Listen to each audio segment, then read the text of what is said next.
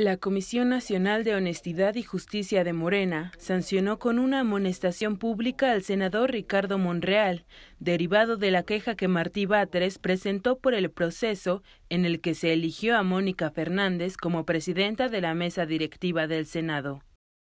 De acuerdo con la resolución del organismo partidista, a la cual Notimex tuvo acceso, Monreal Ávila transgredió diversos postulados del partido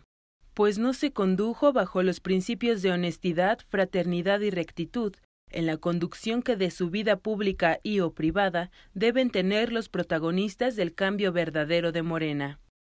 La resolución deriva de la impugnación que Batres Guadarrama presentó el 23 de agosto pasado a la elección en la que se renovó la mesa directiva del Senado,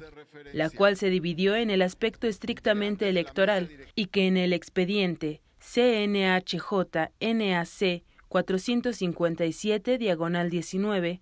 declaró fundados los agravios hechos valer por el actor y revocó el referido proceso ordenando su reposición,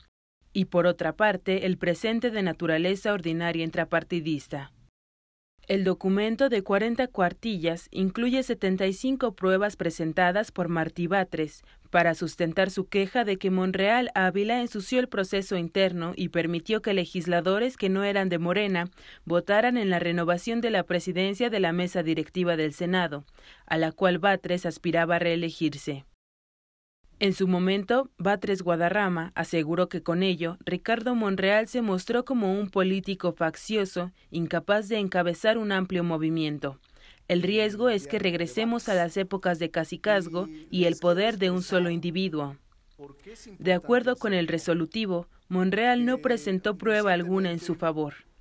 El fallo de la comisión partidista señala que Ricardo Monreal, como integrante de Morena, debe tener presente en su quehacer cotidiano que es portador de una nueva forma de actuar, basada en valores democráticos y humanistas, y no en la búsqueda de la satisfacción de intereses egoístas, de facción o de grupo.